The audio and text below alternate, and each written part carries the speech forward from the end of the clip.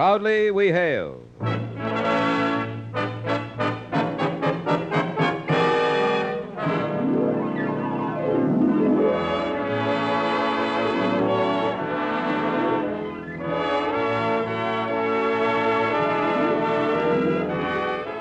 From New York City, where the American stage begins, here is another program with a cast of outstanding players. Public service time has been made available by this station for your Army and your Air Force to bring you this story.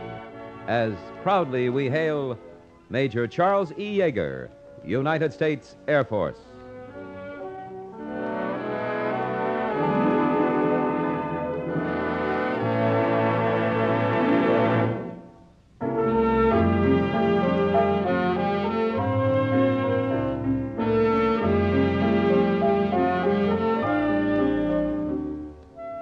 Our story is entitled Flight Through Sound, the story of the ever growing pioneer spirit of our United States Air Force, the story of the first man to fly faster than the speed of sound. Our first act curtain will rise in just a moment, but first, young man, take your place in the new jet age as an Air Force aviation cadet. You'll get 18 months of intensive training, learn all about jet operation, and you'll be surprised how easy jets are to fly and how safe, too. Aviation cadets graduate as Air Force lieutenants with earnings of over $5,000 a year. To qualify, you must be between the ages of 19 and 26 and a half, single, and have at least two years of college. Visit your nearest United States Army and United States Air Force recruiting station for details. And now, your Army and your Air Force present the proudly we hail production, Flight Through Sound.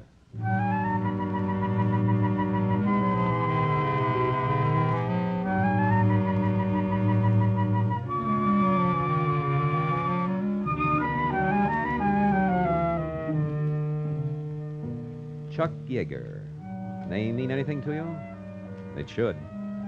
Chuck Yeager and the X 1, the first man and the first plane to fly through the dreaded shock waves that come at the speed of sound and live to tell the tale.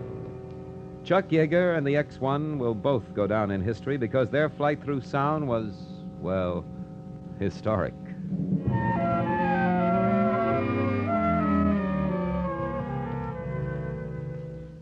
At the time Chuck Yeager made his flight, it was widely believed that when an aircraft reached the speed of sound, it would disintegrate. And there was none to say it wouldn't. Many planes had disintegrated in midair when coming close to the sonic wall. Many a good man, too many, had lost his life because his plane got out of control when it approached the speed of sound.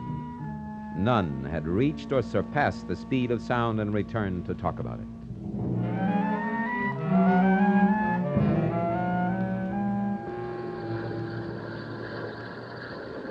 Three men are talking in a bare room at Wright Patterson Air Force Base, the Air Force's giant research and testing field outside of Dayton, Ohio. The season is midsummer and hot. The year 1947.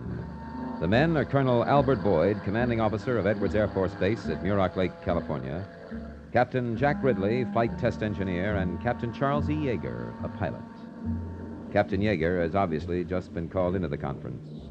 There's an air of informality in the room. Colonel Boyd is talking. Well, that's the way it is, Yeager. Now, you're not being ordered to do anything. We just want to explain the problem to you. I'll be the flight test engineer, Chuck, and I think I can explain to you what you might want to know. But you have to know what this is all about before you can answer. Maybe I can cut this short and make it easier for you. You've got a new project for me. You want me to take Bell Aircraft's new X 1 up and test it? Right. But it isn't a normal testing job. The X 1 isn't really a plane, it's a flying laboratory. That was built for one purpose to see if man can fly a plane faster than the speed of sound. Well, I sort of guessed that. Bell had a pilot, a good man. He tested the X 1, he took it up about Mach point 8, and then he backed out. Maybe he wasn't as curious as I am. So they give the X 1 to another pilot. Now, he went through the same performance. He was willing to test any plane, but he wasn't going to try to fly through the sound barrier for any amount of money. I want you to know all this. I, I don't think any less of those men. If the plane can do it, someone's going to try. Why not me? As much as a person can know about anything that's never been done, I know that that plane can fly through the sound barrier. What'll happen then, we don't know. Where do we go? Uh, Edwards Air Force Base, Muroc Lake, California. Uh, we'll do a lot of talking about this, though, before we start.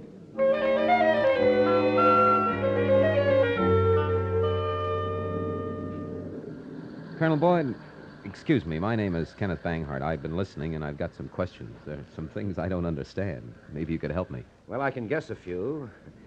What is Mach? Mm-hmm. How fast is sound, right? That's right. Well, the speed of sound varies with the temperature and the density of the air. Now, roughly at sea level, at about 60 degrees Fahrenheit, the speed of sound is about 760 miles per hour. Mm-hmm. Now, the temperature gets lower, so does the speed of sound, as you go higher. Now, at about 35,000 feet, the temperature levels off to minus 67 degrees. That's 67 below zero. Uh-huh. And it stays that way up to over 100,000 feet.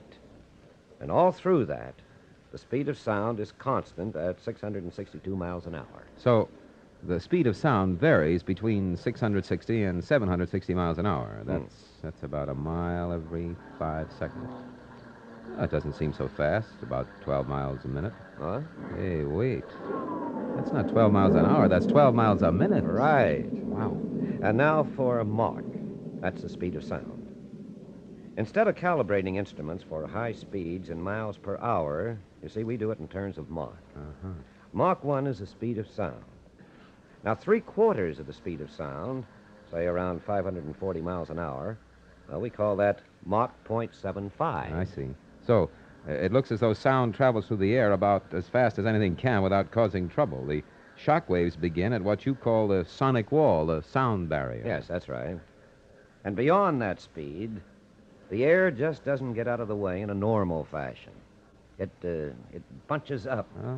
into fists that can punch holes through the toughest metals, well, that can cause aircraft to disintegrate in midair. Now, we don't know all the things shock waves can do. We just know they're there. And that nice, soft stuff, the air we breathe and live in and can't do without, well, it suddenly isn't soft anymore. It becomes an enemy.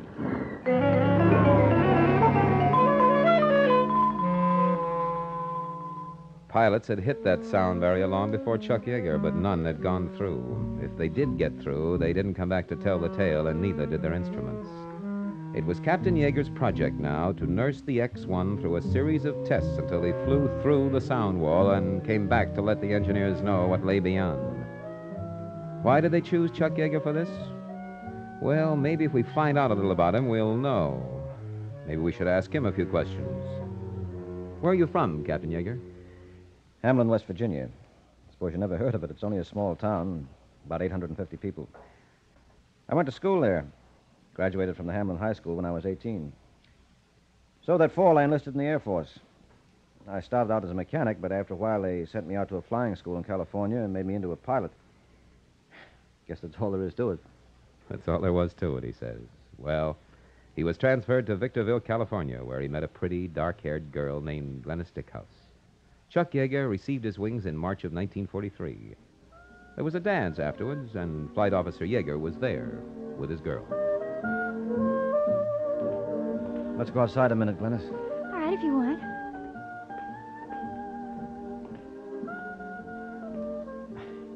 You know, uh, this can't come as any surprise to you. I love you I know.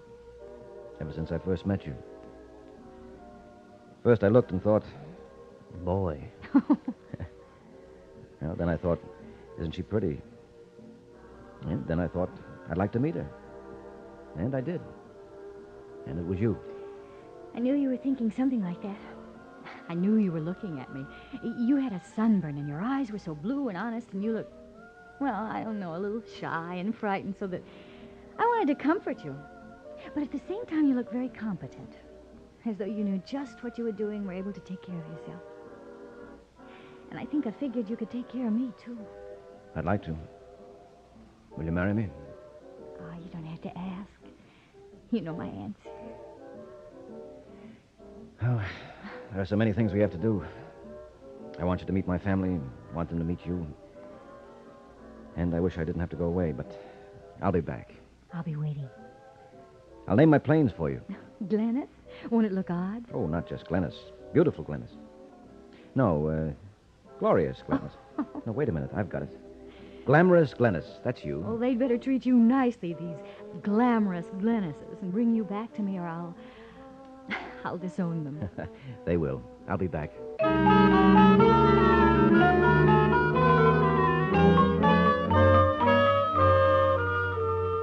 It was wartime. All over the country, young lovers were being parted.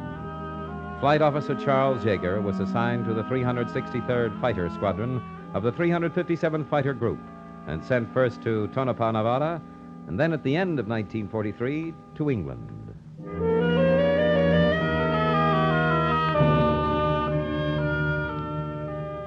Chuck Yeager made quite a record for himself.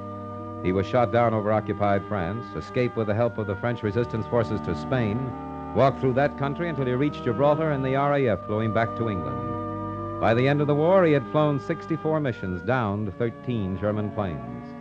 He was Captain Yeager by then and the holder of the Distinguished Flying Cross, the Bronze Star Medal, the Air Medal, and the Purple Heart, and enough oak leaf clusters to start a forest. Captain Yeager went home then to marry his Glennis. He continued flying, first at Perrin Field in Texas, and then at the Fighter Flight Test Branch at Wright Air Force Base, Ohio, outside of Dayton. That's where he met Colonel Boyd, and where Colonel Boyd and Captain Ridley started talking to him about the X 1. Chuck Yeager went home and talked it over with Glennis. You know, we've been here at Wright almost two years now. Yes? Uh, Colonel Boyd is running the show out at Edwards in California. He'd like me to go with him. You want to? What would the work be? Well, it won't be a desk job, honey. It'll be a long time before I become a chairborne flyer. I hope. You'd like me to get into something else, wouldn't you? I would never ask you to. If I were to tell you that I didn't worry every time you went up, I'd be telling a lie, but I worried about you so much during the war and then when you were missing. But I came back. Well, that's what I keep telling myself. And you were a flyer when I met you and when I said I'd marry you. And I sort of like you, you know, just the way you are. Well, it's a good thing for you that you do, because I'm the stubborn type and I don't change easily. And I wouldn't give you up, so looks as though you're stuck with me. A terrible fate, but I'll try to bear up. All right, then bear up under the rest of your fate. We're going back to California. Edwards Air Force Base? Muroc Lake? That's us. Special Flight Test Command. Like it? Oh, I'll be glad to get back to California, but why Muroc Lake? I lived in Northern California all my life and never heard of Muroc Lake until I married the Air Force. Well, Muroc's not really what you'd call Northern California. It's about 70 miles inland from Los Angeles in the Mojave Desert.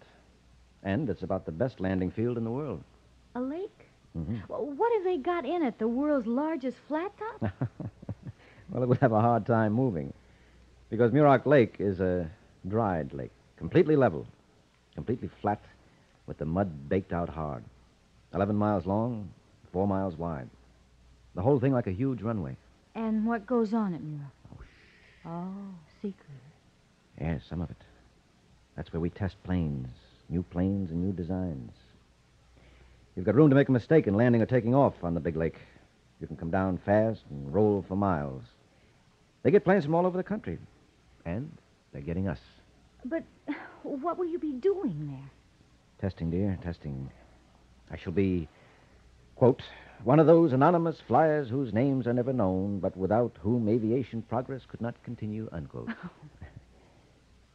Yeah, who knows? I may get a chance to to be the first person to do something, start something new, change the way people live.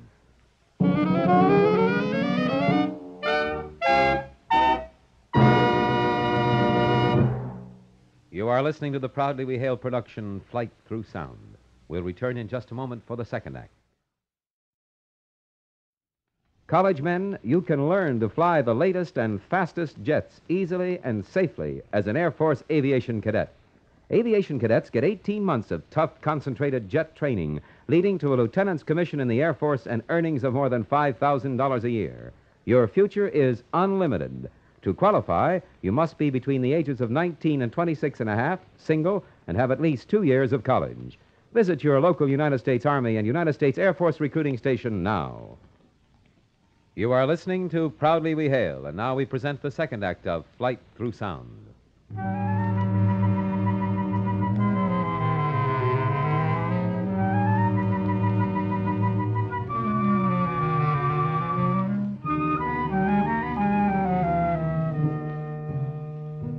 Captain Yeager and his wife Glennis and Donald, age two, Michael, one, moved to Muroc Lake. Captain Yeager has flown the X 1 often, testing its performance. It's the middle of October, 1947. There she is, Glenn. The X 1, my project. That plane? What did you expect? A flying boxcar? Well, most of the fighter planes are larger than this. Well, sure, but they have to be. This was built for just one purpose to carry me and a lot of equipment. I don't know what I really expected to see, but not this. What makes this one so special? What makes it go so fast? Well, as you can see, there are no propellers, no air scoops for jets. It's rockets. Rockets powerful enough to someday send us to the moon. Oh, hey, hmm? they're pulling it away, your plane. While we're standing here with our teeth in our mouth, a, a tractor is pulling your plane away. Hi, Glennis. Hi, Chuck. Hi, Jack. Well, we're all set, Chuck. How about you? Anytime. Where's Cardenas? Back there, checking over his B 29. That won't take long. You better check in. I picked up your assignment cards. Okay, thanks. Mhm, No change in the assignment. Just the things we lined up, hmm? That's right. Short one this time. Okay, bye, Glenn. Oh, bye. Why don't you stick around, Glennis, and watch the test? Think I can stand it? Oh, sure.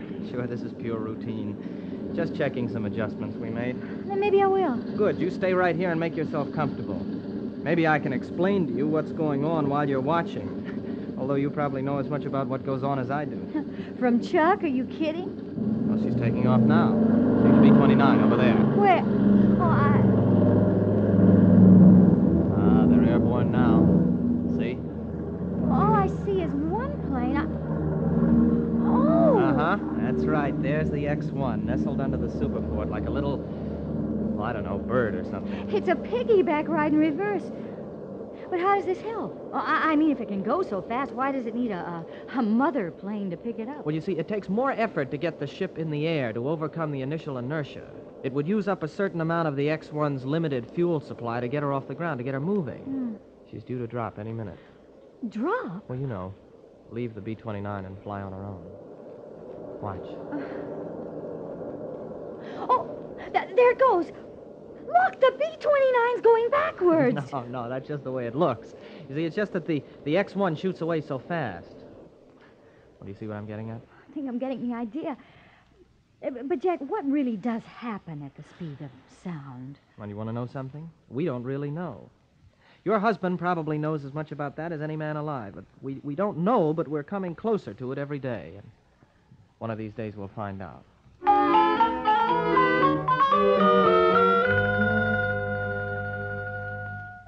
Glennis didn't know it, but she saw a semi historic flight, the last test flight of the X 1 before the big one.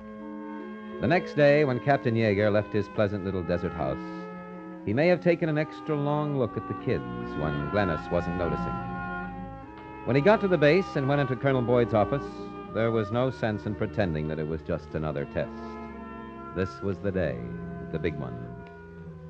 Major Cardenas greeted him as he comes in. How you feeling, Chuck? Scared stiff. Ah, now stop the kidding, boys. You're going to do something today that no man's ever done before. You're smart enough to know what that means. The thing is, I'm curious enough to want to find out what happens. Good, good, as long as you feel that way. Now, the main thing is, don't take any unnecessary chances. If everything doesn't seem just right, don't do it. I mean, we'd rather have you come back without getting up to Mach 1 than have you go as fast as sound and, well, and not get back. Don't worry. I'll be back, all right.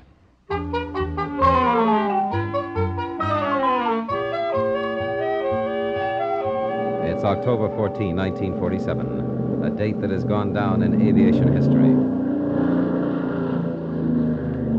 There goes the mothership carrying the X 1. Major Cardenas is in command of the B 29, number 800. He will take the X 1 aloft, talk with Captain Yeager on the radio, and tell him when to drop after the B 29 has attained the right altitude and speed. Then Major Cardenas' task is finished, and it's up to Captain Yeager.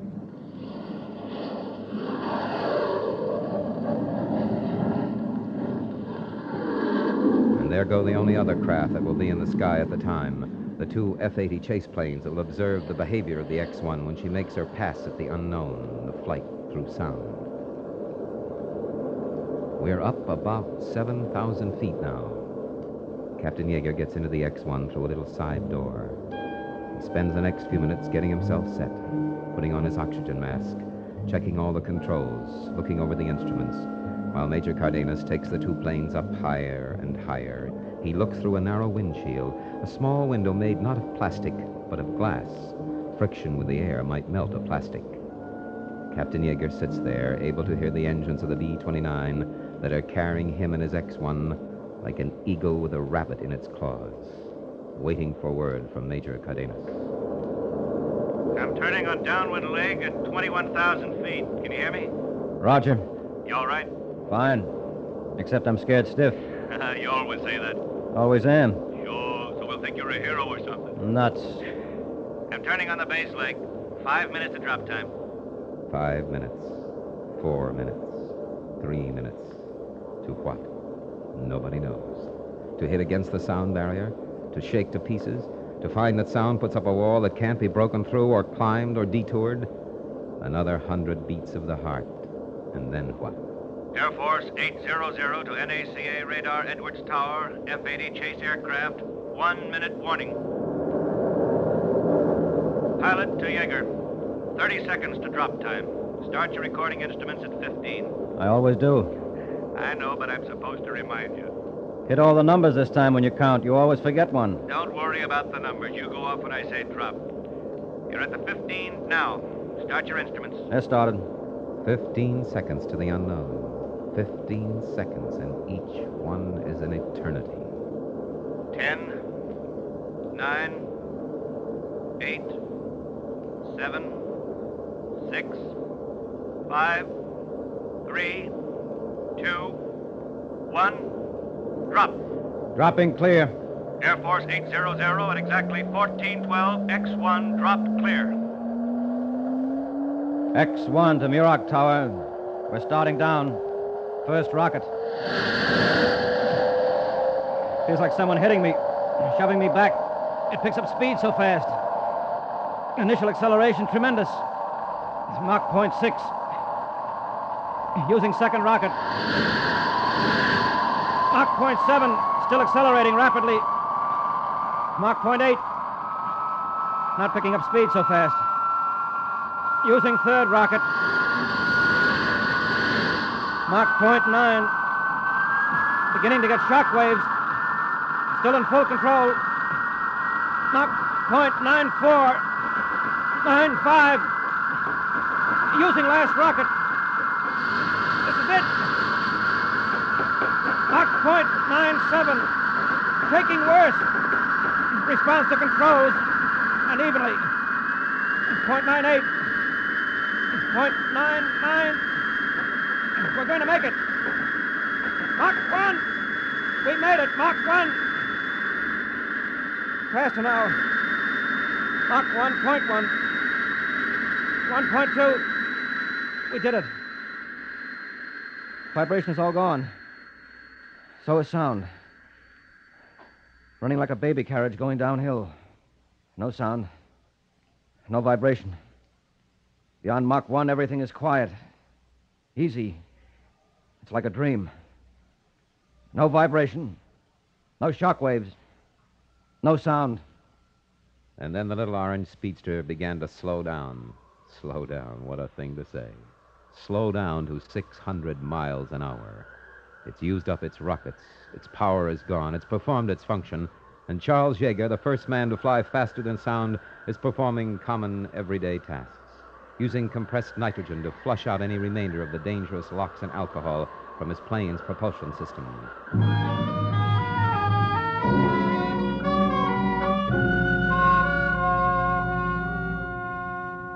And he gets his speed down to a reasonable 165 miles an hour and lands on the hard, dried mud of Muroc Lake. To be greeted by flash bulbs and reporters and radio men? No. By Colonel Boyd and Captain Ridley and secrecy. Well, how'd it go? You ought to know. Just the way you planned it. Just the way you said it would. You want to do it again? Anytime. This, now we've done it once, is only the beginning. You mean it? You'll go up again and do it? Tomorrow. Now that we know we can. There are a lot of things we have to find out about supersonics. In fact, there's almost everything to be found out. It's a whole new world up there.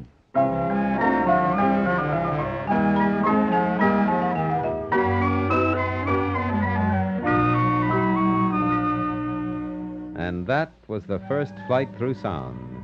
Man, earthbound, spacebound man, had done it again, had opened a new door to the future. That was October 14, 1947. That flight earned Captain, now Major Yeager, the Collier Trophy and the Mackay Trophy for outstanding service to aviation.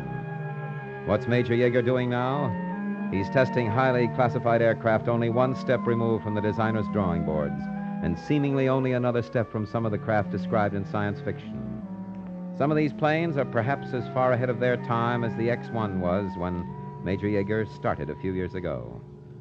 As he puts it, We punched so many holes in the sonic wall, you can still see 'em all over the Mojave Desert. and where's the X 1, the plane that first flew faster than sound? The X 1 is at the Smithsonian Institute in Washington, D.C. A stubby little orange colored plane on exhibition with other planes that made history Wrights and Langleys and Lindberghs and others. And the man who made the history? Well, he's still making it for the United States Air Force.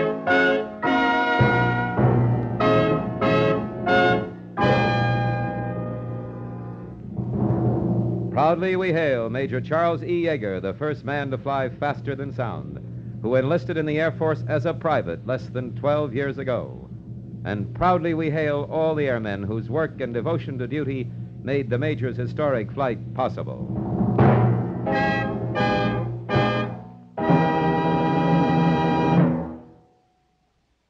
Young man, if you've had two years of college, are single and otherwise qualified, there's a future for you as an aviation cadet in the U.S. Air Force. You'll receive 18 months of the world's finest flight training, fly the latest jets easily and safely, and graduate as an Air Force lieutenant with earnings of more than $5,000 a year.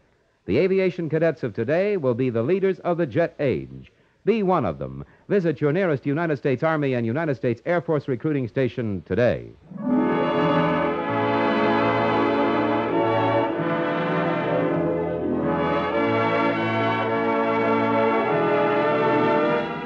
This has been another program on Proudly We Hail, presented transcribed in cooperation with this station. Proudly We Hail is produced by the Recruiting Publicity Center for the United States Army and United States Air Force Recruiting Service. This is Kenneth Banghart speaking and inviting you to tune in this same station next week for another interesting story on Proudly We Hail.